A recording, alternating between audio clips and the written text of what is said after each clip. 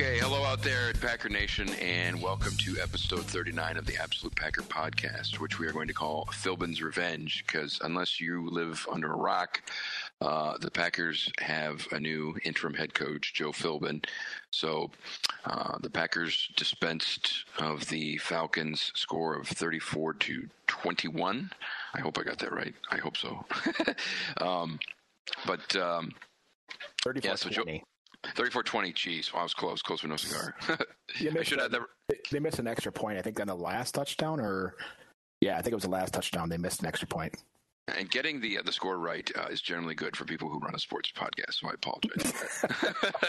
Guessing usually doesn't do, do well, uh... but um, yeah, this was you know the the billing of two uh, disappointing teams in the NFC, but uh, you know Philbin uh, was obviously the, the offensive coordinator. He was named interim head coach, and he was with McCarthy uh, early in his uh, tenure, McCarthy's tenure too, before he went with Miami. So, if anything, it was just to, to check to see, you know, pulse of the team, how things would go, and uh, hopefully, you know, the Packers could come out, uh, show some life, and and they did. I think for the most part, um, threw uh, in some of my notes, mental notes, he threw two touchdowns that were dimes. The the one to uh, Davante Adams, that little back shoulder.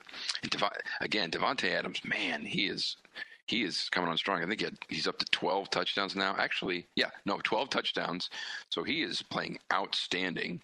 Uh, and his chemistry with Rodgers reminds me of uh, Jordy Nelson esque at this point almost. And he's a better athlete than Jordy Nelson, but uh, threw a dime back shoulder to uh, to um, Davante Adams for that touchdown, and then he threw an absolute in the bucket, a teardrop to uh, Randall Cobb, one of the vintage, what I'll call Aaron Rodgers throws uh, for a touchdown.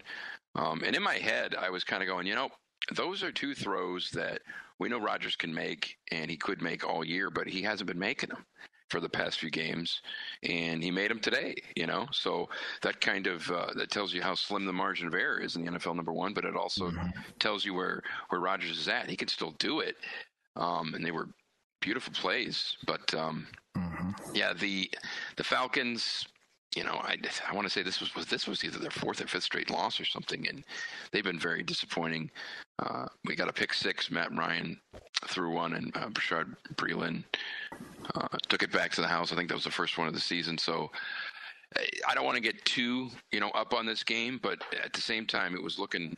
We wanted some some positivity, and we definitely uh, we definitely got some. And, and, the team, you know, Rodgers and the rest of the team, they did seem to be more, and maybe it's because they know their fate or you know whatever. It's just a little more relaxed. Rodgers seemed to be, you know, more jovial for Rodgers, uh, the way you could rate it for Rodgers, I guess. And the other thing I noticed um, was when he went in for that slide, I think it was in the second half. It was a mm-hmm. long uh, third down conversion, and that Falcon guy came in and popped him pretty good, which I thought was a fine football player, or whatever. And then a lot of Rodgers' uh, offensive linemen and whatnot, people came over and started to, you know, and they start the little scuffle when, when they call it, you know, standing up for the quarterback, whatever you want to call it. But I think, as uh, hokey as that sounds, that was kind of good to see um, people still doing that.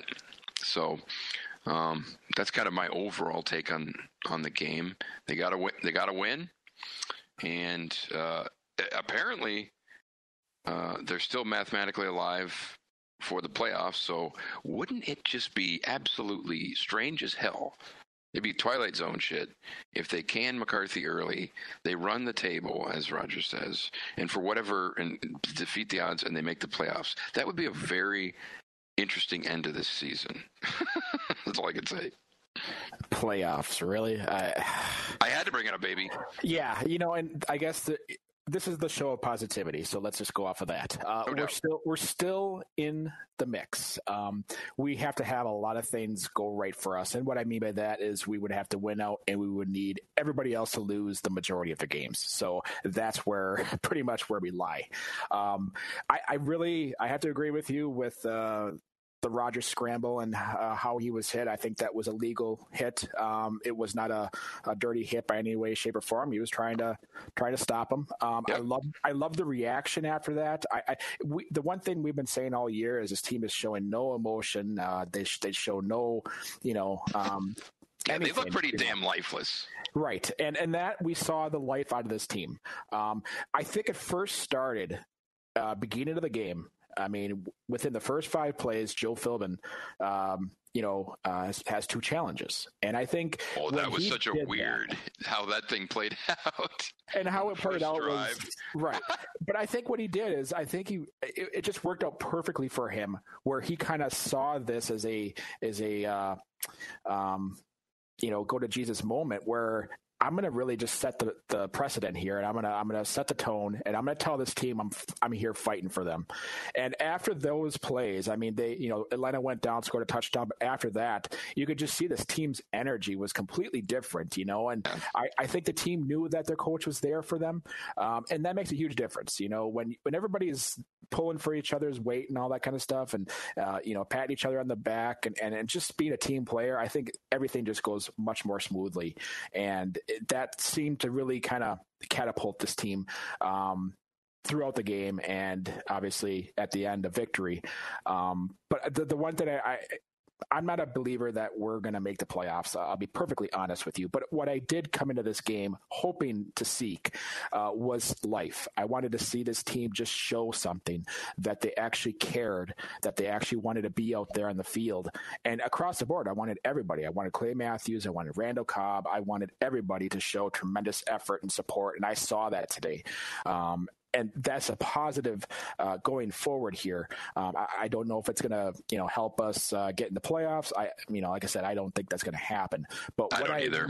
but what I really want to see this team uh, do is uh, what they did today, and I have to be very impressed with that. Um, Philbin came in and early in the week got got rid of Winston Moss, uh, the assistant head coach and linebackers coach. Pretty much said he didn't fit what we wanted to do around here. Yeah, we'll um, need to talk about all this off the field stuff that they had too. It's freaking it's like a sorority house up there. with all the right. bickering and finger pointing and weird shit coming out of there, but uh, yeah.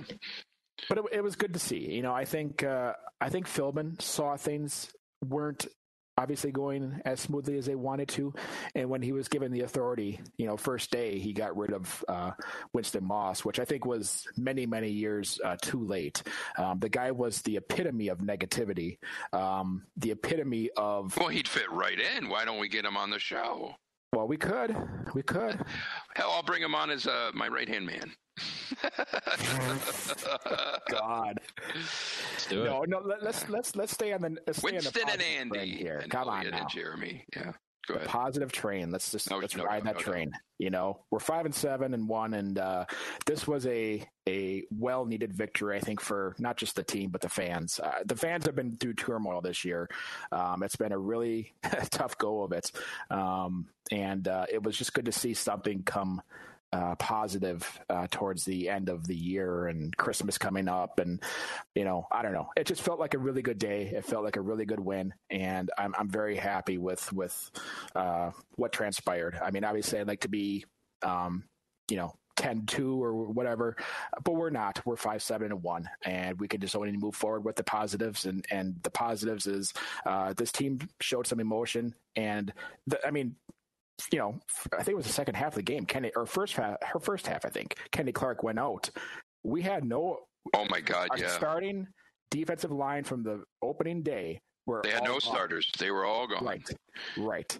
And offensive linemen. We came into the game without Brian Bulaga, without Lane Taylor. Three of five, and they lost. Uh, who was it? Uh, Bell went down, or was it Bell? Am I right? Yeah, he went down. Bell was hurt last week, but um, McCray went down, and then uh, they brought in Alex Light, who was a rookie free agent that uh, oh. played for a few snaps for McCray. Injuries, injuries, and the Packers go hand in hand. I mean, every every team in the league, as we know, has injuries. But geez, the Packers, it's just maybe it just seems that way. But Jesus Christ, they just they get hammered. Pretty soon, they're going to be taking cornerbacks, putting them in as offensive linemen, or God knows what. They they were almost at a position where they were going to have to take guys out of that who weren't, you know, they're going to have to use defensive linemen on the offensive line or, or vice versa. That's right. crazy shit. But that's hell. That's the state of the team. Um, right. Yeah. And, and, they brought, um, they picked up a, a defensive lineman uh, earlier this week, Fadol Brown, who they, uh, uh, the, the, Raiders waived.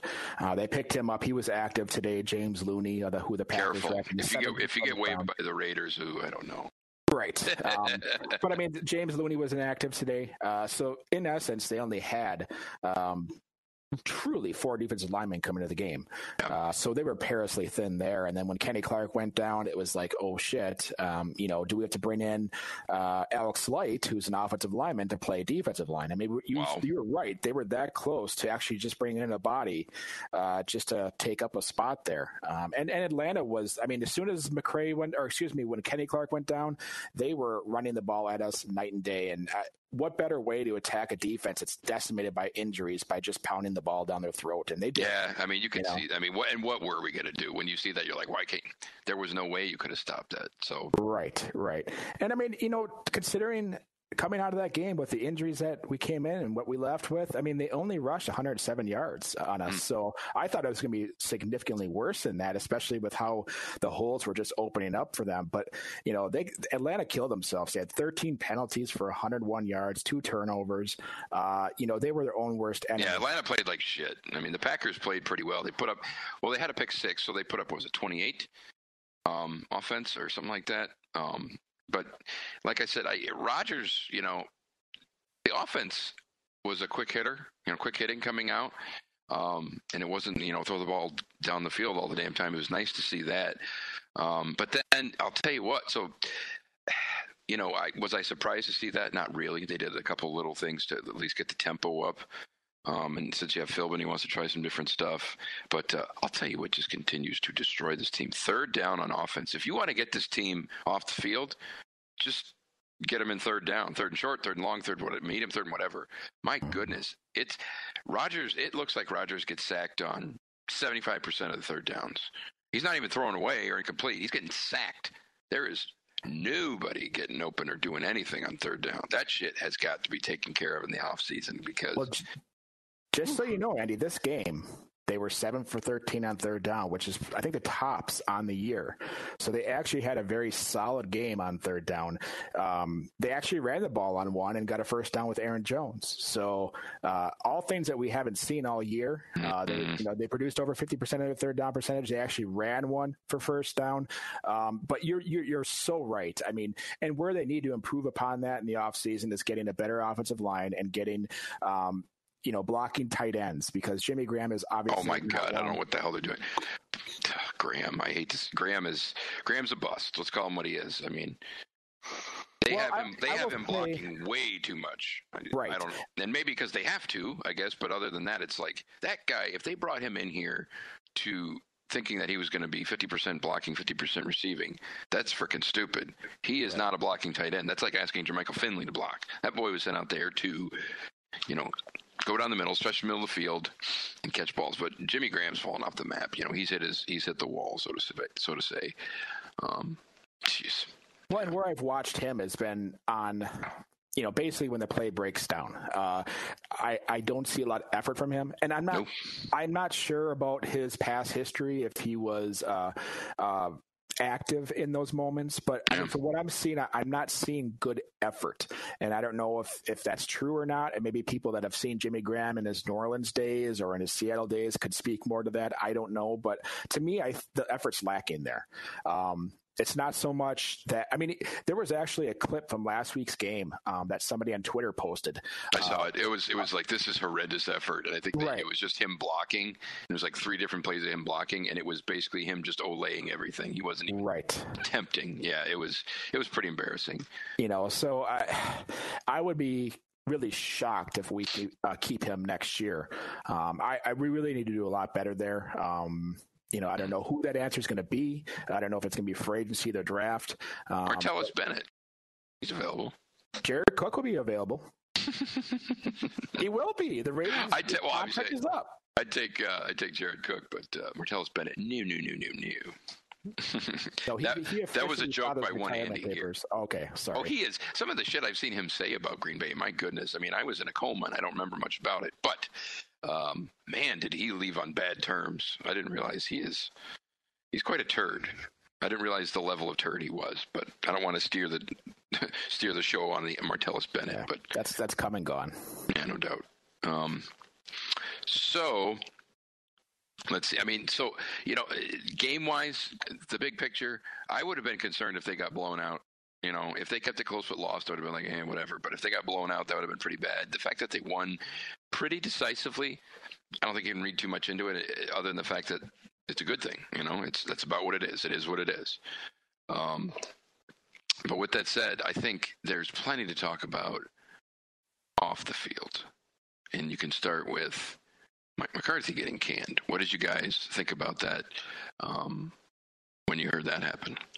Shocked. Uh, purely shocked, but uh, you know, I, I, think if I think we all said if, and I think I said to you guys as uh, maybe a day or two before, or maybe it was during the game. I don't know. Uh, I said if if they lose against Arizona, Mike McCarthy will be gone tomorrow. Um, you know, and I didn't think that that was going to truly happen, but I just had a, a, just this weird premonition that it was going to, and it did. Uh, no, it, it didn't. Ha- he wasn't gone tomorrow. He was gone 20 minutes after the game was done. Let's be right, real on that. Right. Um, so. Yeah, I would play small. Oh, I hear something. Wow. What is Sorry about that. That was me. Um, I was on ESPN and uh, an ad played, but uh, yeah. So it, you were I, on ESPN. Who's interviewing you? nice. nice. as long as they as long as they give us money for it, it's fine. I'm nice. trying to get them to sponsor us. So yeah, nice. yeah, it's it's all good. It's all good.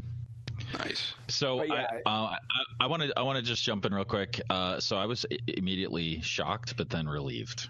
Yes. Oh, when McCarthy got fired. Yeah. yeah. and he, I was, I would say, I was shocked too. And I mean, it sounds like all of us were collectively shocked because it happened mid-season. You know, I just, I didn't see that coming. I even if they got, even if they lost all the rest of their games or whatever, I didn't think they would fire him before the end of the season. Number one, the Packers just don't do that.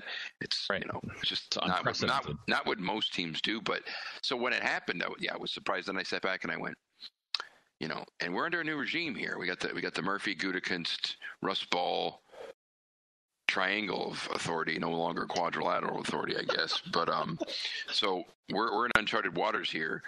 But um, it, it leads you to believe that you know this wasn't just some. I mean, obviously, had they beat Arizona, I don't think he would have been fired. But this had been brewing where that if they said, okay, if he does lose, he's gone. I don't, I don't see it as a more of a, I don't see it as much of a gut reaction, so to speak. So uh, they really wanted to move on from McCarthy because technically we, again, no playoffs are coming. Let's make that clear. But you're not even technically quote out of the playoffs, but you still can't. It's just odd, you know what I mean? I just so they really wanted him gone, um, and it it just it just reeks of the whole. You know, we we we fired Dom Capers, we bring in Gutekunst, but we keep McCarthy. It was all just it was handled poorly, and it did not really surprise me with Murphy at, Murphy at the helm.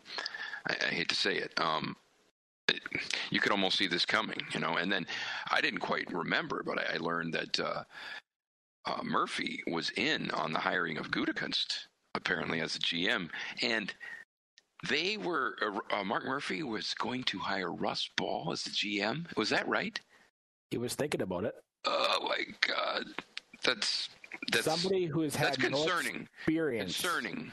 No experience with player personnel. He's only had experience pretty He's much negotiating contracts. Yeah and I'm sure he's I'm sure he's great at negotiating contracts and all that stuff. But you do not give the GM role to someone like that. I mean, who knows if that was really true? But I, that's why I heard you know it came out that McCarthy was like, no, no, no, no, no, you don't want Ball because he's just going to be Ted only worse. He's Ted minus being a scout, which is even more troubling. So I don't know where the hell this new quote unquote regime is going to go. And people are saying you know, Philbin is doing his, his, auditioning for the, the job like hell. If they if they hire, I have said this. If they hire Philbin after this, I may become a Bear fan, and that's that could be a, that could be a problem. As wow. we know, obviously I'm just kidding, but I, I had to at least put uh, the threat of it out there.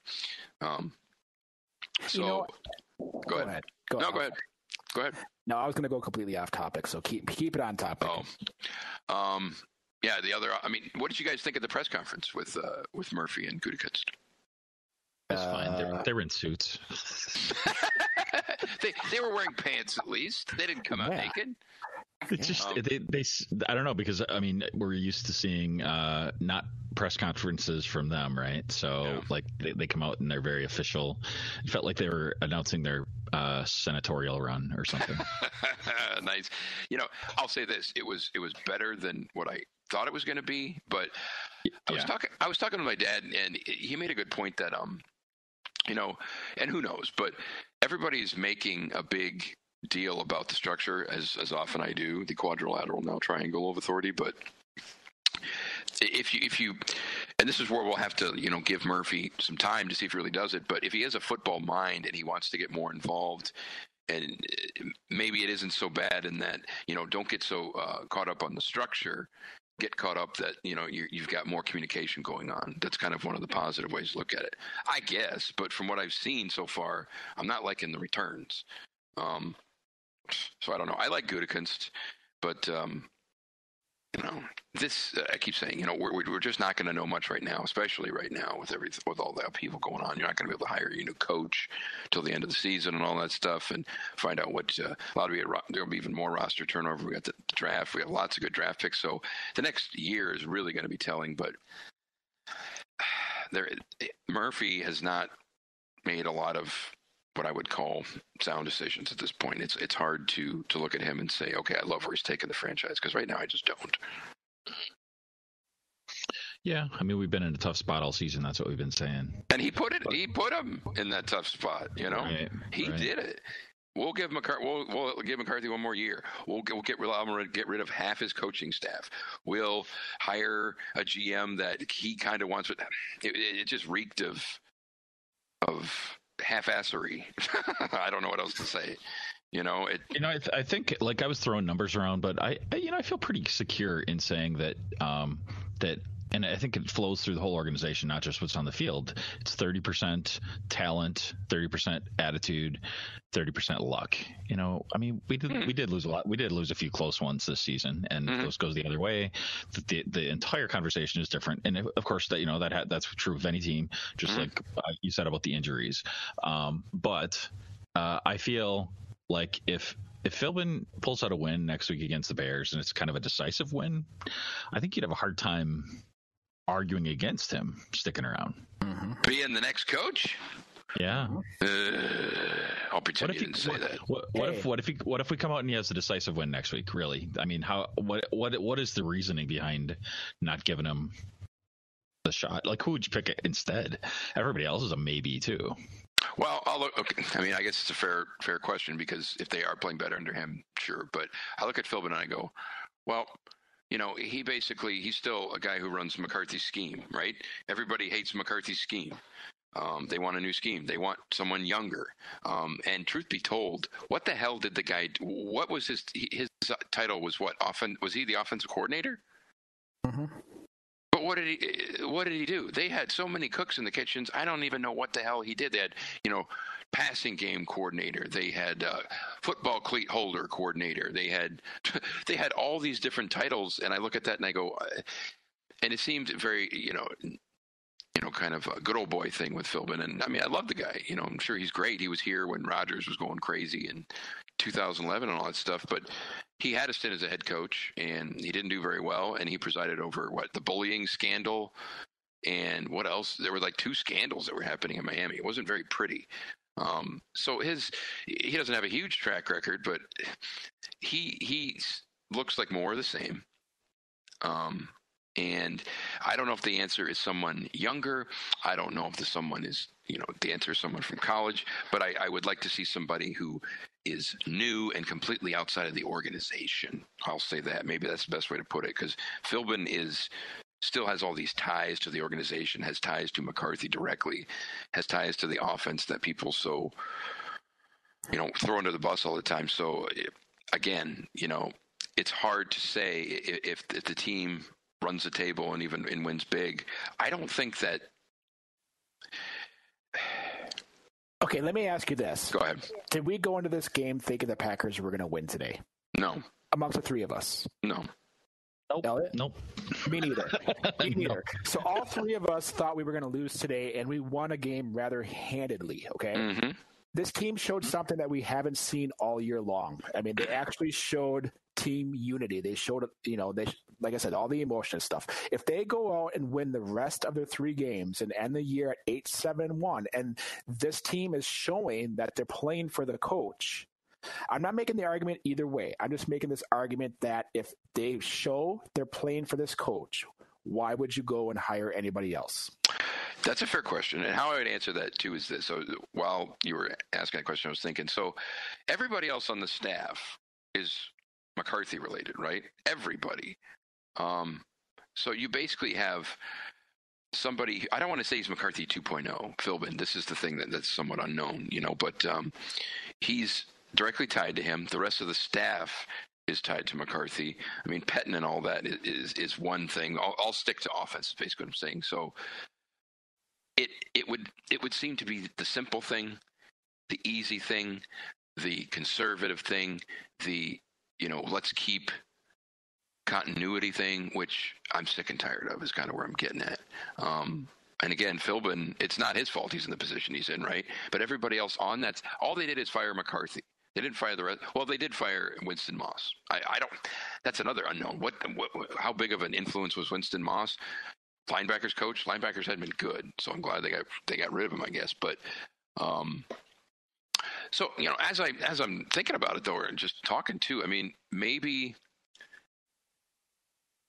the the quote unquote culture change could be that big. I'd be I'd be stunned if that's what it is because Philbin is directly tied to McCarthy and has been. He used to work for him, left, got fired, and came back. Those are the kind of things I don't want to see. I'd like to see this this franchise do something um, more. I don't want to say drastic, and I don't want to say risky because this hire has to be right. You know, it really does, obviously. Right. Um, let me let me throw something else. Let me throw something else at you. Then, did today's game, you know, led by Joe Philbin, uh, have any McCarthyism tied to how this team performed today? Any relation to any other game this year? Was this the best game that the Packers have played all year? Top, I mean, from first quarter to the fourth quarter, from the start to the end, is this the best game that they played? And how do you tie Philbin just to, just to the fact that he was, you know, under McCarthy and has been with him for many years. Uh, how do you tie him to McCarthy when this team played nothing like a McCarthy team of this year? That's a fair question. Um, I'll say this: uh, Atlanta is not a good team. I think that's plain as day. Um, they're very disappointing. They're supposed to be better. I mean, they're coming in. They're playing on. You know, they're a, they're a dome team in warm weather. They're coming here playing in the cold, whatever. Um, but they played like shit. I don't know what so the quality of your opponent is is one thing. Um, now the Packers didn't, you know, they lost to the frickin' Arizona Cardinals. I get that too. Um, so, you know, the the iceberg, as I'll call it, you know, what the, did did they the surface of McCarthy was did they cut off the the big thing where there's still a lot underneath, or was he really the thing holding back? I'd be surprised if that's the only thing. You know what you know what I mean? And it, and those are the things we just don't know.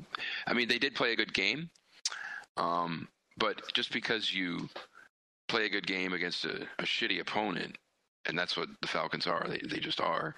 Um, I, I'll I'll give some credit, but I'm not going to be jumping, you know, jumping up for joy over that. And they still had problems on third down. And I mean, some of the offense was a little better. And again, I think this is really key. Actually, uh, I don't know if I. Uh, I think Ellie and I were talking about this before we before you came on. But there were two throws today by Rodgers: the touchdown to Adams, the back shoulder touchdown to him, fantastic throw, and it was a touchdown, obviously. Mm-hmm. And the dime he threw to Cobb and the bucket for that touchdown. Those were two vintage Aaron Rodgers throws that he that he made today, right?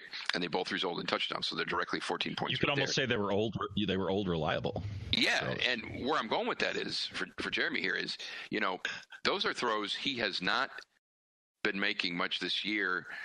Um, but he happened to make them today. Now, did he make them today because it's a new era and you know Philbin's there? Who the hell knows? I think he just made them because he made them. You know, if he didn't make those two throws, they don't have 14 points and they probably don't win this game. Plus, you got the pick six. So that's one thing I was kind of thinking of too. Is he happened to make the vintage Aaron Rodgers throws when he was supposed to, and did he do that because he felt looser? Um, do you know what I mean? Those two throws, I'm thinking he used to make them in sleep. He hasn't been making any of them this year. Um, so it's hard to know. It's hard to know. But I, I think if you break things down into those those thirty percent buckets, they had all all three of those things going on today. You sure. know, they, they, were they're they're sure. playing to their talent. They had the right attitude for once. I think that was the really big thing missing. And and they had a, they had some luck, not perfect luck. I mean, mm-hmm. there were some bad calls too. So mm-hmm. uh, I, I, I feel like it, it, I mean the win almost could have been more. Uh, it was very decisive. It was the best they played all season. Yep. And and you know uh, we all like have this pie in the sky. Let's get a young coach like the mm-hmm. Rams have, but we have a veteran quarterback. And I mean, maybe that's when you want that young coach, but boy, I don't think so. Yeah, that, um, that's a, you bring up a good point. I mean, I'm not saying that the young hot coach out of college or whatever is the answer because that is a big risk. Um, yeah, you know the maybe maybe it's what I'm saying is the safe thing to do would be to hire Philbin, and we're all getting ahead of ourselves because they may go one and three, you know. It, but if he goes sure. or no, or if he goes to, you know what I mean, three and one, and every, everything looks really good. Well, that's why I'm saying next week against the Bears because we have the yeah. Bears, then the Jets, then the Lions, and yeah. like whatever, we'll know if the season means anything, which it probably will not anyway, right? By the time we roll around to the Jets and the Lions, so those could be throwaway games. Maybe we don't even have starters in, you know, whatever, right? Mm-hmm. So. um I think I think the win next week is is humongous. Uh, not be. for not for playoffs, but just for the idea of the idea of the playoffs. you know, nice. just for the just, yeah. just for uh, the the thought that it could be kept alive and that we're going in on sure footing for next year. That's true. That's true. You know, it's interesting. I mean, the two when you say the best game they played this this uh, season, I guess collectively it could be.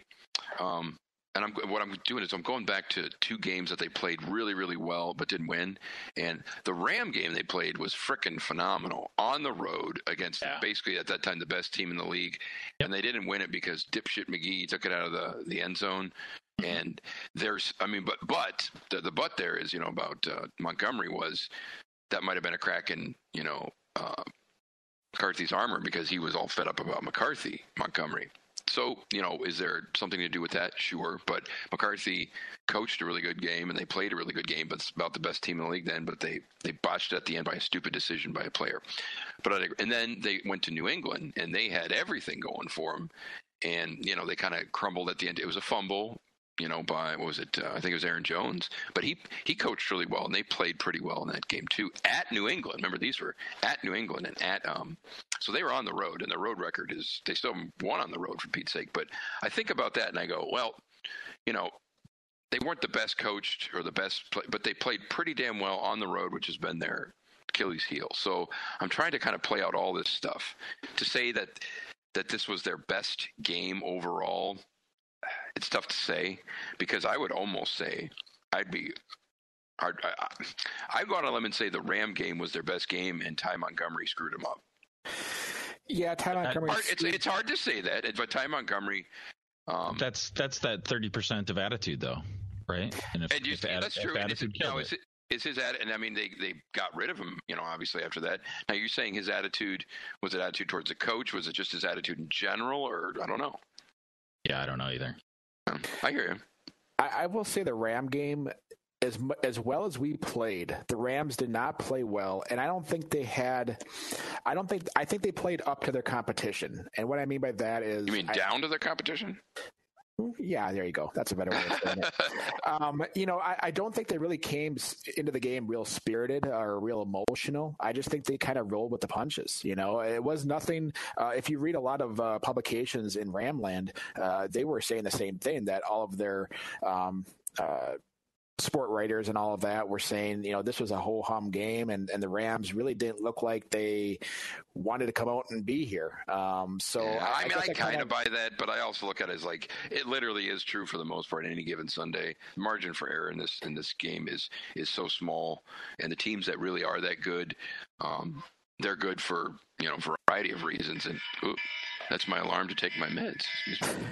well, let, let, me throw this past you though. I mean, we, we, you know, during the year, whenever we've had our backs against the wall, whenever somebody has thrown the first punch at us, we have not responded with anything. Yeah, we have we have wilted basically every. So time. this year or this game, excuse me, we started out the game and we had two controversial plays which Philbin called um, for reviews, and they were they were rejected. And the Rams went down, scored the very first touchdown of the game. Mm-hmm. They did not score a touchdown until the fourth quarter of After the game. Yeah.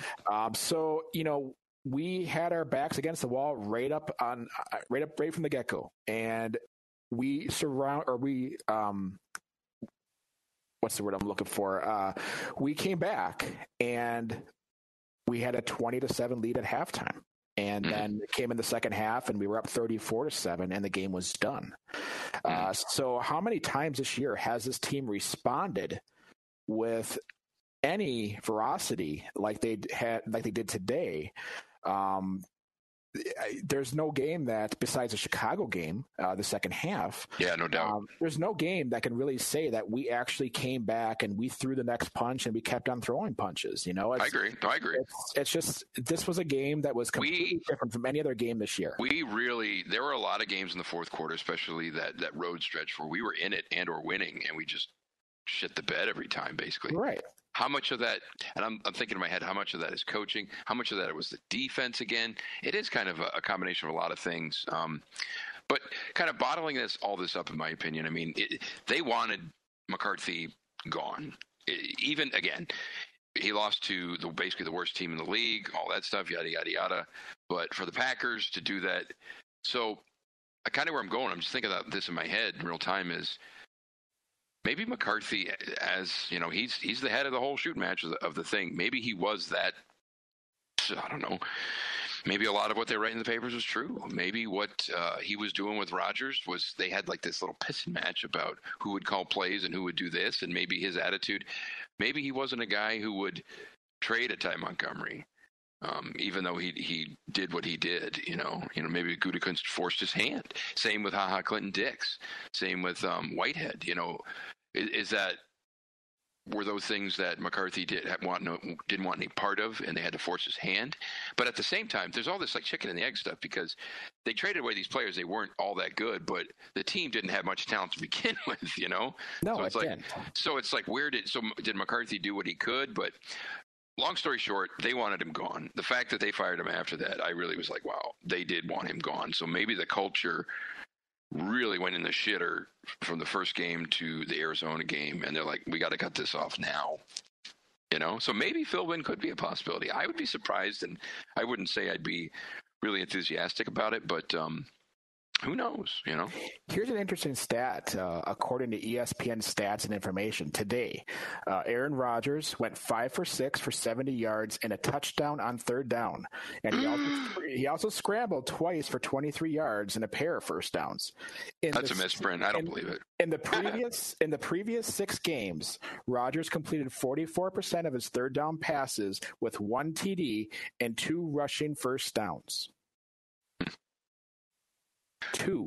That that um that stat about today about or that you just gave me about because uh, he got sacked on third down at least three or four times again, did he not?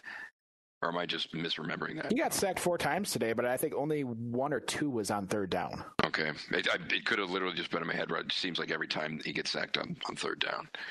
Yeesh. I don't know. Yeah. Right now, the Packers have a 6% chance of reaching the playoffs, according to FPI projections. You had to throw that in there, didn't you? Hey, that's how we were in 2010 as well. We were sitting there at uh, 8 6. And I think we had less than a 15% chance to make the playoffs. We had everything fall our way, and we won the Super Bowl. Could you imagine if they got in the playoffs and they freaking won the Super Bowl with Joe Philbin? Could you uh, imagine that? Okay, you know what? It's a stretch to say we're going to hit the playoffs. I know. You're taking things too. I know. Look at what we're doing here. I'm just thinking in my head. I'm like, that would be some shit right there. That would be whoa, boy. You know the part that really there was two things today that really got to me. Uh, the first one was right before halftime. You know when Rodgers scrambled, uh, had the big uh, first down scramble, and then um, the team got really you know, rambunctious over it and uh, got mm-hmm. involved into a melee.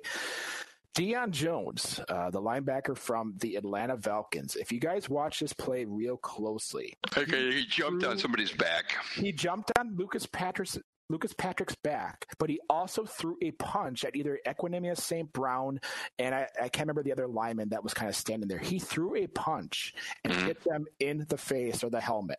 Now, the NFL rule states if you throw a punch, it's automatic ejection. So, if we want to talk about the refs actually, the officiating was today, horrific today. Those, um, those two flags that uh, Philbin threw, those he should have won both challenges. Well, definitely the bad. first one. Definitely the first one where I Jones obviously had no. He had no possession of that ball. Right. Uh, the second yeah. one was really tough because you could see that his you know his his foot kind of grazed the grass before it got yeah. to the sidelines. That one was right. really I, there was no conclusive evidence that could have overturned that. Here's but a question: one, the, the, Was it the first one that shouldn't have been a catch? I think that's what we're talking about. Yes, yes. How in God's green earth? They still don't know what a fucking catch is in this league. Oh. They still don't. Right. I mean, come on. They bring on that Dean Blandino, and he's like, uh, uh, "This is not a catch. What's going on?" And I'm just going. that that's why Dean Blandino got out of the NFL, though. I mean, he won't come out and say this, but he got away because he knew that these rules were setting them up to fail, and he wanted no part of it. So he's happy to be, you know, with the fork the, the Fox Sports crew and to give his take on each call. But that play, there was you have to you have to have two steps and a football move and possession.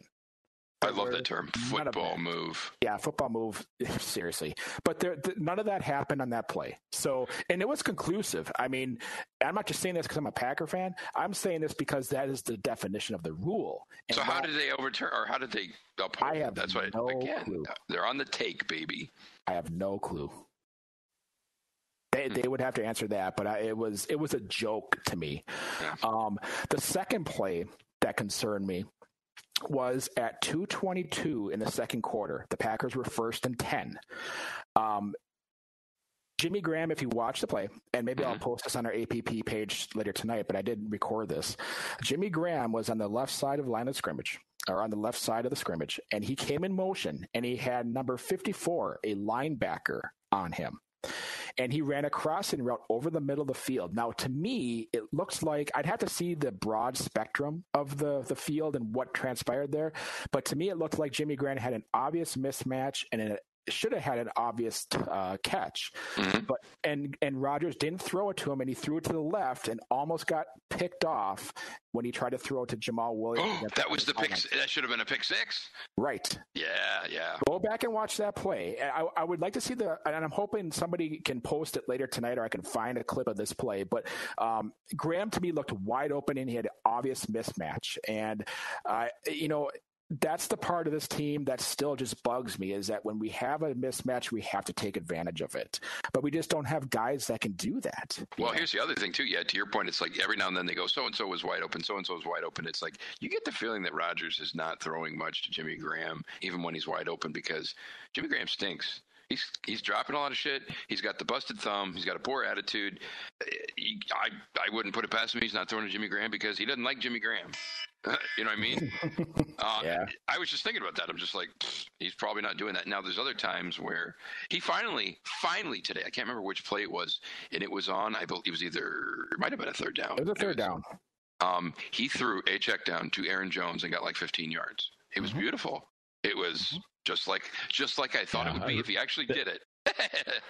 Heavens opened up and rejoiced. It was yeah, no kidding. Was, it was, was probably the only one he did, but I'm like, you know, I was like, holy cow, he actually did it. So yeah, he, he definitely needs to do more of that. And you know, even though the Falcons didn't play that great and the Packers did play better, he still needs to get rid of the ball faster. I mean, offensive line's fault or not, there were some times when I'm, if they're all coming after you, there has to be someone for you to throw to. You're breaking up a little bit, buddy. I, I, just, I can yeah. hear you, but you're breaking up a little bit. Keep going. Uh, okay. Uh oh. Yep, that's my whole speech. yeah, I mean, I'll say this. Um, I mean, the offensive line, it's execution. All these, you know, all these things are contributing to the offensive woes. But a, big part of it is the offensive line stinks. The entire right side is just trash. And I mean, if you're expecting, you know, second and third string guys to come in there and, and have the offensive line play like their starters, that ain't going to happen. And one thing that McCarthy did, and I don't know if um, Philbin will do or whatnot, but he never gives his offensive line any help, like ever. And they their right side of their offensive line, basically the whole year, has needed maybe not help all the time, but uh, many of the times they needed some help, and that's not helping Rodgers either. I mean, so obviously, like other people say, when a quarterback, the worst thing a quarterback can do is look down at the rush. They have to keep their eyes open down the field, stand tall, and throw a dart. And Rodgers, when he's had a good offensive line, has never looked down at the rush. He's looking down at the rush big time, but how can you blame him because he goes hut and somebody's in his lap in 0.5 seconds? Mm-hmm. So it happens to the best of the quarterbacks. Um, so they need they, they need a, an overhaul on the right side of the line. They need big help on the line, and and you know we're talking about how the protection broke down so much this year. Do you do, do you realize Rodgers broke the NFL INT record today? He had over that is insane. 358 passes without an interception. Yeah. He broke Tom Brady's record today. Yeah. That's crazy. All the troubles that this offense has had, all the issues that we have had. Uh, I mean, we could go down the litany of issues this offense has had, and he's thrown one pick, and he broke the iron or the uh, most consecutive throws without an interception today. Lovely. But and he almost that threw that pick six with he almost threw that pick six with like two passes left to break the record. Did you see? Right. That? Right. That was funny. But yeah, I mean, how many that I mean, it's obviously it's outstanding. I don't know how many touchdowns he has this year. It's probably like what twenty one or twenty two. Twenty one. Okay, so he's obviously he's he is not throwing ints. It's fantastic, but keep in mind too, he does not take chances. Number one, and number two, he is throwing the ball away at a crazy rate. So there is this. I don't want to say give and take. Look, he's it's outstanding, and it's it's obviously incredible that he can do that. But if the context of it, I'm sure if you compared Brady's like 300 whatever throws to Rodgers, I'd love to know side by side how many Brady had when he was doing real damage with the offense versus Rodgers throwing the ball away. Or you know what I mean? Well, so um, far like we that. lead the league in throwaways at 55. Oh, I'm sure. Yeah, by a lot, I think. 55 so far. Jeez. So Rodgers well, on, does, on, the call, they said nobody else had over thirty. That fuck? Are you serious? yeah. That's insane. I mean, Rod. The other that's the other thing. Rodgers does not want to take chances. Will he though? Yeah. Meaning, I don't mean just the end, the rest of this year, because you know he always says I don't care about stats. I care about winning. That's a bunch of bullshit. He's not stupid. He knows his stats. He knows this, that, and the other. And if you're not going anywhere as a team, you know, he's got even more incentive. That's all you got to play for. Exactly. So you wonder about that, you know. But maybe in in the latter part of his career, he'll start taking more chances. Oh, that reminds me. Did you guys um see that video I sent you from YouTube a, couple days ago that uh, broke down the whole? Um, we should post that to the APP page. I can't remember exactly who did it, but it was like a 20 minute long video that broke down the the Packers offense, and it was you know, I was expecting it to be, you know, McCarthy, McCarthy, McCarthy. And it was mostly the offense, but it was, this guy talked about so many different things. And he compared the, the Packers offense and scheme and everything directly to New England. And it was even more eye opening than I thought. Hmm. Unbelievable. I think I sent it to you guys, but um, I'll send it to you again. It was just, it was crazy. Um, so so let's see. Um, what else are we looking for? I guess uh, for next week and rest of the year and, and all that good stuff. Uh, keeping keeping the tone that was set today. Um, you know, I I think if let's say we win out here, and uh, you know, like Elliot said, we we win in, in, Chicago handedly, and we beat the Jets and we beat Detroit at home. Um, where does this team stand at the end of the year? Mm-hmm. Uh, you're in a full blown controversy because I don't know how Philbin could not be considered uh, one of the candidates to lead this team in 2019 and beyond. I, truly, uh, because yeah, the know, more I think about it, I, I, guess I could see that. Yeah, we'll, we'll see how things play out here. I mean, this is one game today. We you know we're all excited because we actually played a full four quarters and we actually looked good. Um, I'm on that high too, you know, because I haven't seen it all year. Um, we saw it today, uh, but let's say they do. Let's say they do win out and they and they go down to Chicago next week and uh, win handedly down there. Um, it, it, leaves a lot of uh, question marks. It, it, truly does because I, I am on the the, the belief. It also well. almost looks like, and I mean I hate to say this, but it almost looks like Rodgers fucking sabotaged McCarthy. It, it part of me wonders that he wanted him gone so. You know what? I, there is something in the back of my mind. Who the hell knows? Oh, I, you know, I, I just I can't get over almost, that one. It, it's almost hard to to fathom, but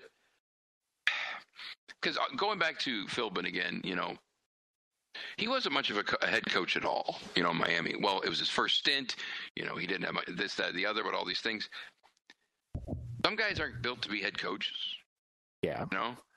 And so it's just all these things. And it just, they, they, I'd really love to be a fly on the wall, you know, not even um, before, after Arizona, but like basically mid-season at the bye with with with the upper guys to just know what they're thinking about McCarthy. Because again, they freaking fired him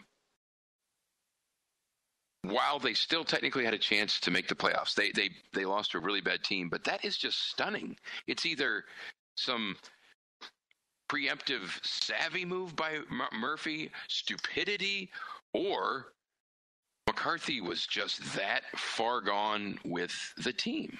And I I don't know what, where the hell it is. You know what I mean? The, team was that far gone. Uh, really? Like I said, losing against Arizona was inexcusable. I don't even care what the scenario was, and in our situation, there's no excuse for it. Okay, riddle um, me this: What if, um, you know, they canned him or whatever, and then um, what if Philbin coached and they lost Arizona with Philbin? That's kind of a hard comparison because. but what does it? I, I hear what you're saying, but what does it mean? Is it inexcusable for Philbin? Are you saying that McCarthy that was his first game that Philbin coached? No, I'm just saying like well, let me try and put it this way. It's like, you know, you can't lose to that team because they're one of the worst teams in the league, blah, blah, blah, right? Well, I guess a better way to put it would be say McCarthy lost to a really shitty team, right? Yeah. Not the worst in the league, but a shitty team. And then they canned him. And then the next week, Packers played Arizona with Philbin at the helm, and we lost to them. What would that mean about Philbin? Uh, Do you know what I mean? Really good question. Do you know what I mean? Yeah, yeah. So that's where I, I'm going back to. They really wanted McCarthy gone. There really was, and and maybe uh, reading even more into the Winston Moss thing because Winston Moss was boy, he was his um, assistant head coach and all this stuff, and he seems to be a real turd. Well, and, he there's a reason why he was not allowed to. And Philbin uh, canned him. Philbin canned him like a day after. Remember? Right. There's a reason why this team had no press conferences or set up interviews with him all year. He's just an odd, odd duck. Weird. I mean, I get that, but it's just so maybe again where I'm, where I guess I'm, I'm kind of headed with all this is maybe McCarthy was the quote unquote cancer that was just killing this team on a variety of different levels. Uh, that's not the right word to use, but it was untenable, is the word I'm looking at. It was just simply untenable with him. Do you know what I mean? Yeah. Yeah. I don't know. I mean, I kind of look at it like um, in, in, in life today, uh, you know, the biggest uh, thing that I can think of off the top of my head is when couples are are having a tumultuous relationship, the the best thing that they think they should do is have a child. You know, um, mm. and they go and have a child, and then obviously it doesn't improve things. This off season, you could kind of correlate things. You know, they readjusted the front office. They got rid of, uh, you know, Ted Thompson, uh, brought in Goot, uh, brought in a new defensive coordinator, uh, pretty much overhauled the offensive staff, and things did not work out. But know? did they overhaul the offensive staff? No, it didn't. Uh, this is a complete failure. Um, so, and that, why... to your point, that I would that does point I assume this is where you're going, but this does yes. go back more to, to McCarthy because, oh, I'm going to bring in Philbin, his good old boy. I hate to say it, but his good old boy, right? Now, let's call yep. it what it is. Yep. And he said, I'm going to take a scrub brush to the offense. Horseshit. Mm-hmm. Now, Rodgers got hurt with his knee. How bad was that really? It's a very, this is just a very, very, very interesting season. You know, 30 years from now or 10 years from now or whatever, we get all the details about what really happened with the season. It's going to be fascinating because there's just lots of weird, just strange things that maybe just it's like a perfect storm or something. I don't know. Mm-hmm. Yeah. Yeah, it just I think you're right. I think it just kind of the perfect storm just culminated against Arizona. And I think Murphy set him up for it. That's the thing. And that's with his stupid system or his stupid reporting structure and he let McCarthy pick the the GM uh, have influence so, on that and then he let oh it's just so are you saying that we have two people on this team that are that were purposely trying to destroy this season to get rid of a head coach? You're saying Mark um, Murphy and Aaron Rodgers. No, I, that's a okay. That's a good question. I'm not saying that. What I'm saying is, Mark Murphy. I don't think he's smart enough to know that the system that he set up was just doomed to fail. No, because he believes it's it's it's a, it's the way to, get, yeah. to succeed. That's what and that's and, and, that's like I said, that's part of the problem. If he looks at that and says this is the way to do it, that's the problem right there. That he thinks that's the right way. Now, oh, that's that's the, that's what came out of his press conference in the week yeah. uh, Monday was yeah. this is the way that I feel we are going to be best set up to to succeed. Is I'm going to be able to hire the head, next head coach, Phil, or uh, excuse me, Goot will have a say in it, but I am the one that's going to make that final decision. Yeah. And then to your point about Rodgers, I don't know if Rodgers necessarily like sabotaged him, but well, you read these articles like an SI, remember that came out, and then yeah. something else where it's like, it's you know, there's so much crap going on behind the scenes, and McCarthy and Rodgers are are like in this you know competition to see who can call the best play and all that. And I'm going, what the fuck is this? I this think is, you had you had two um, in that locker room. You had two different teams. You had the team that um, obviously did not support McCarthy and the regime, and you had the other team that did. Maybe, and maybe it all it all kind of just uh, crumbled down. Crumbled down from there. Because once the locker once the locker room crumbles, your whole team falters. It, it's it's tried and true. That happens year after year after year in all professional sports. When your locker room, uh, you know, um, separates or, or, fractures or whatever, the team typically goes down the hill. Do you, do you remember what that SI article did say though? It was talking about how like it was they were so like, and this was more so even under Ted, where it was like it was so tight. You know, you couldn't do anything. They wouldn't allow people to wear hat, you know, hats backwards on the mm-hmm. sidelines, and that's another fault that Murphy has is that he didn't shit can Thompson soon enough. He missed him by 2 mm-hmm. years, right? At least two years. And I, again, I don't under with Ted. What is he? He's like head scout now. Uh, what what is so they, he's not a GM, but they're going to let him. I don't understand that either that's like a little microcosm of a stupid triangle or a quadrilateral authority too. Is like, well, you can't be a GM anymore. You really, you're you're, you're past your prime. You know, you probably shouldn't be doing any of this anymore. But we'll give you a little office down the way or something. Eh, what? Right. You know what? Mm-hmm. And and he was and it, apparently. Gutekunst, or not Gutekunst, um, Murphy and Thompson were both trying to get Russ Ball hired they were like in the ball team. right.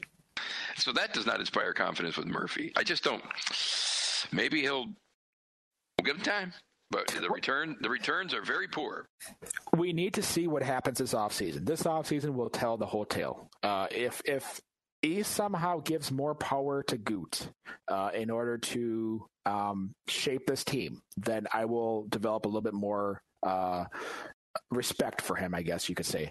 Um, but if we continue to have everything go through Mark Murphy, and I think Elliot has touched on this a few point or a few times here and there about his uh, high involvement in the Titletown district. Um, you know, then somebody called him that ribbon cutter. That's how they right. to him.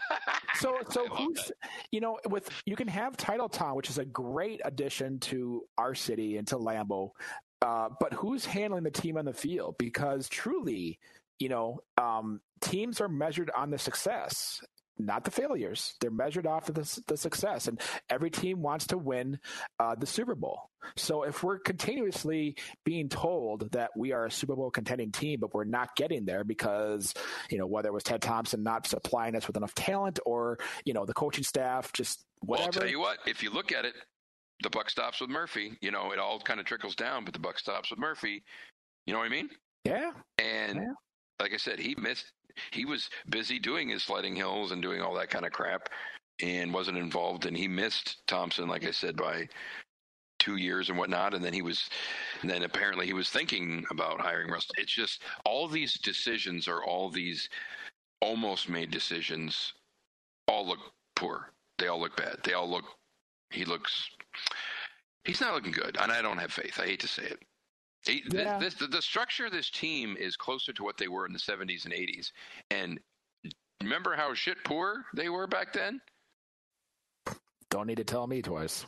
I mean, I didn't have to experience. I didn't experience. I have to experience that. Thank the Lord. But well, but that's that's why you have to have clear lines of accountability. This whole, the whole like quadrilateral of authority, clear communication. It doesn't really matter, and that's the, that's really where I think um, you can't change too many things all at once, but you need to have clear lines of of accountability and authority this is your job. You have to do it. If you don't do it, you're gone. Like that. Th- that has to be the rule. You can't say, "Well, we got these three new guys," and then you don't really know whose fault it is. That doesn't help.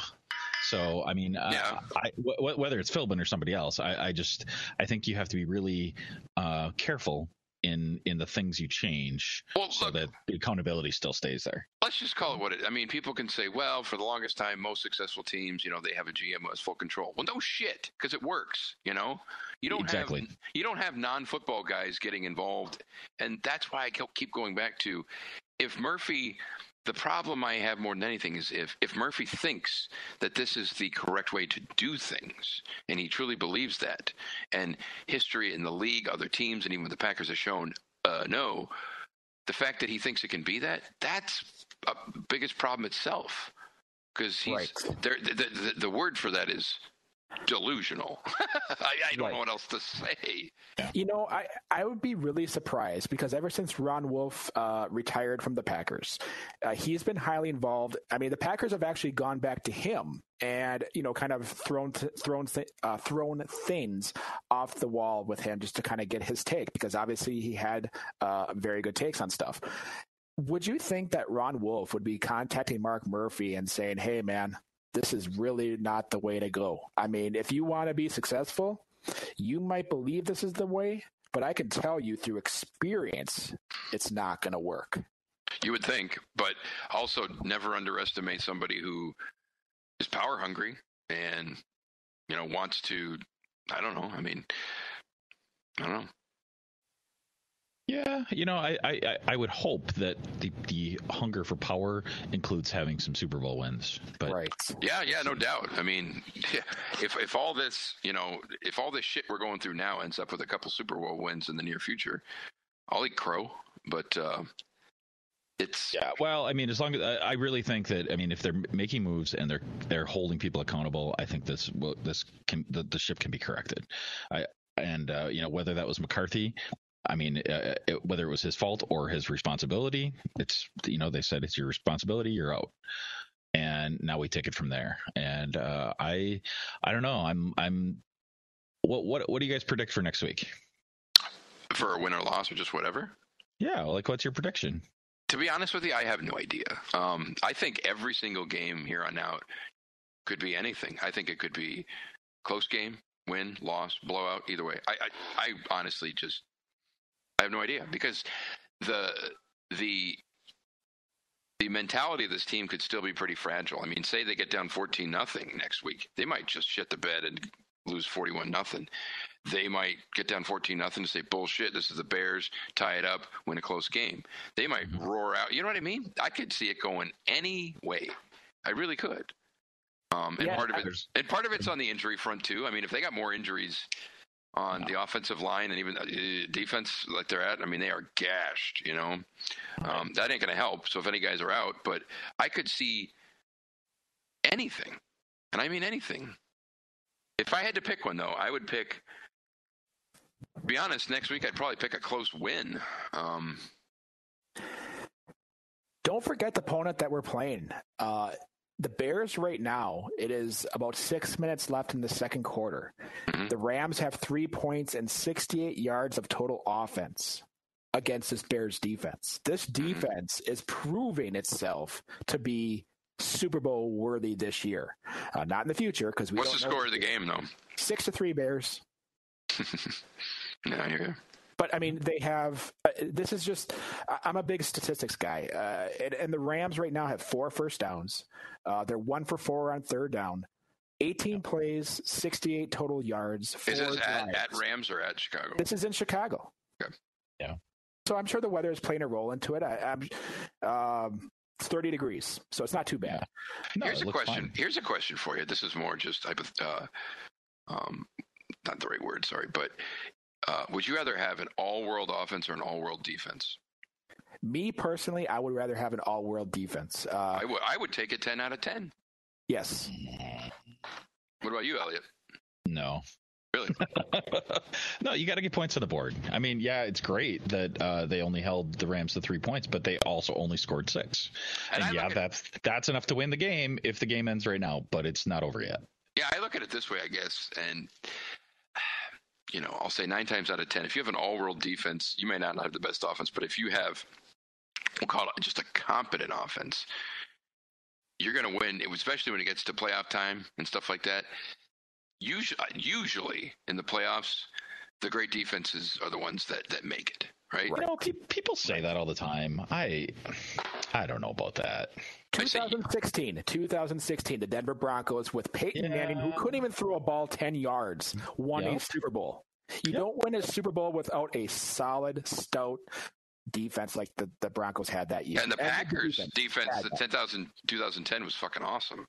It was. It was injured a, like hell, but it was awesome. But we also had a, a, you know, we were the best of both worlds there. We had a great offense and a great defense. Right. right. That's that's the, obviously the the uh, epitome of what you want. That's the, you know, but that was never. That's typically not going to happen in this day and age, just because of uh, free agency and the salary cap, right. and especially the, the situation we're in, where we're paying our quarterback roughly seventeen percent of our salary cap in, in a year's salary. Yeah. And looking back to the Packers' losses to the Giants, in 2000 uh, was it 2007 and 2011. Mm-hmm. Um, I mean, they had they had decent offenses with Eli Manning, but they had that those incredible defenses, and both of those beat New England. Right. But you know how they did it? This is the key. You have four down linemen that can get consistent pressure, and you can play the, the, the other seven defenders the way that you want, but you only have to worry about those four getting to the quarterback, and that was why the Giants could uh, beat the Patriots, and that's why. And they destroyed us in that 2011. Remember that divisional game? God, I was there. Yeah, it wasn't that, close. That was embarrassing, man. Alive. Wasn't even close. But if you can get pressure with the least amount of guys, you're going to be pretty good, yeah. and you can beat a lot of quarterbacks that way. Good quarterbacks. I hear you. So to to end things on a uh, lighter note, mm-hmm. uh, did you guys hear about the the, the national anthem? I did no. not. What happened? So they were originally supposed to have some country singer come in to, to do the Star Spangled Banner, but uh, he he couldn't make it for some reason, and so they had Frank Hermans come in? You know who he is, right? Oh yeah, yeah. Yep, yep. Yeah, yeah, yeah. I, th- I mean, everybody pretty oh, much knows. cool. Like, uh, let me be Frank Productions. Yeah, yeah, yeah. Except nice. he, except he forgot the words oh, partway no. in. Are you serious? Yeah, yeah. I mean, so, but you know what? I mean, I think he was able to. He can make fun of himself, and he, you know, he finished strong, right? But, uh, but I did not know was, that. Yeah, in the middle, he just kind of went la la la la. he did. Oh my god, that's awesome and uh, it, and, it, and, it, was and it was funny. So uh, I, I mean, I'm sure I'm sure everybody's going to see that video a thousand times tomorrow, but uh, we should throw that up too. It was. Uh, oh, I did not know that. Yes, it was pretty good, and like he's he's embarrassed, but like you know what? Uh, what I I messaged on his on his Facebook, like you you uh, you miss 100 percent of the shots you don't take, right? He had the opportunity, he took it. He didn't. He you know he got an 80 percent. He's just going to have to go back out there again and do it again. So right. Sure. Wow, that's amazing. No, that is cool. I didn't know that. Yeah, so it was good, you know, and, and good for him for uh, you know making himself available on short notice like that. So I, right. You know, no doubt. That's yeah, awesome. So I, so I hope that I hope the quadrilateral of authority uh, takes him back again. it's a triangle of authority right now. Tra- trapezoid of authority, um, polygon of authority. Oh, I, I, like you know, polygon of authority. Yeah, it's definitely getting past Andy's bedtime. He's starting to reset. nice, you guys are so silly. Go to bed, Andy. No, I, my alarm's going off, but it's for my meds. It's not my bedtime. Oh, okay. Take your meds. Go to bed. Yeah. Well, I got two alarms on those suckers, man. I have like an alarm and then a backup. So trust me. So I, I, I didn't give my prediction. I didn't hear yours, Jeremy. But uh, I think uh, that for the Bears game, I, I think we're gonna lose, but I think it'll be close. Hmm. Yeah, I'm thinking something like a 23 to 17. Uh, yeah, that sounds that sounds pretty reasonable. Um, I'm gonna call 23 to 17, but the Packers win. Okay. Ooh, ooh. That's, that's, good. We could we could probably keep track of that. now, now, I mean, Rodgers Rodgers owns the Bears, and he even owns them in Chicago, Chicago or wherever. So, and never underestimate, even though they're basically out of everything. Rodgers yeah. ain't no dummy, and even if he can turn on the uh, Superman switch and it's too late, he knows what the Bears mean to the Packers and all that kind of stuff too. So I think um, I don't think he's going to light him up, but I think 23-17 could definitely be possible. But here's here's the difference. I mean, we got to have a relatively healthy offensive line. Yeah, it's troublesome. They're not gonna... Mac. That's all oh, I gotta say. God, just right. tell Philbin, be like, look, you're gonna have to give him some help, all right? And don't put yeah. Jimmy Graham over there. Put nope. somebody else better. If you have 60 plays in the game, Marcedes Lewis should be playing 60 games at right tackle. Wow. Marcedes at right tackle. Okay. Um, yeah, I, extra would, blocker. that would be. An, I'll tell you yeah. what. That's one of those interesting things that McCarthy never gave his offensive line help. Let's see, like ever. I mean, Philbin. Right.